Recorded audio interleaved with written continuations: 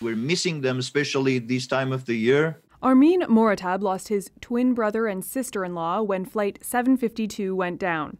The same day, a letter approving their permanent residency in Canada arrived, but they never made it home.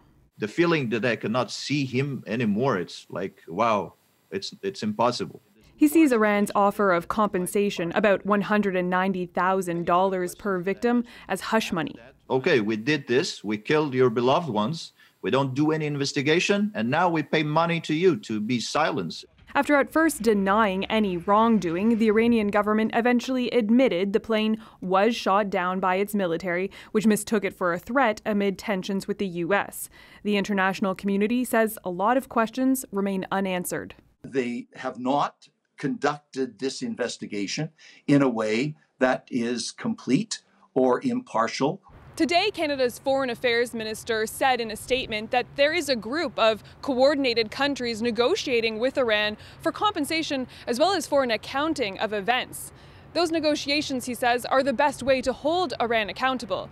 So far, he says Iran has not made any formal offers to any countries. Today's announcement, made on Iranian state TV, was well received by some. That's something that is a Shahab's family was considering as a good move. Hamidreza Zahidi lost his friend Shahab Rana on the flight. They weren't even aware of this compensation plan as of this morning, and I was sharing this information with them. For others, the money's insulting.